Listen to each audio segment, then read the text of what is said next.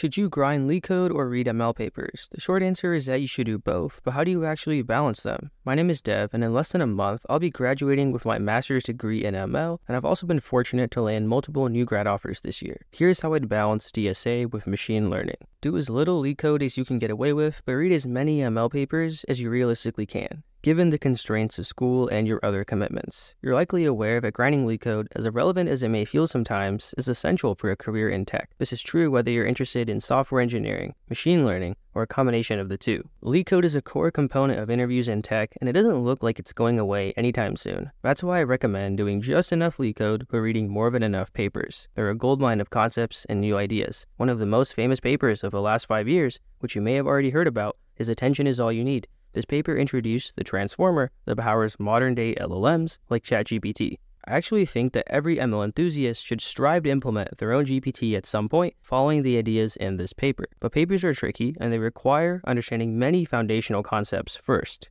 gradient descent, forward and backward passes, the PyTorch library, and countless other topics. Early on in undergrad, when you have more time, is the best time to develop a foundational understanding of ML. Grinding LeetCode, on the other hand, has diminishing returns. You might get marginally better at solving data structure and algorithm questions, but your time is better spent growing in other areas that interest you. There is an opportunity cost. Whether it's front end development, full stack development, or machine learning, you should eventually transition away from LeetCode and towards a specific area that actually interests you.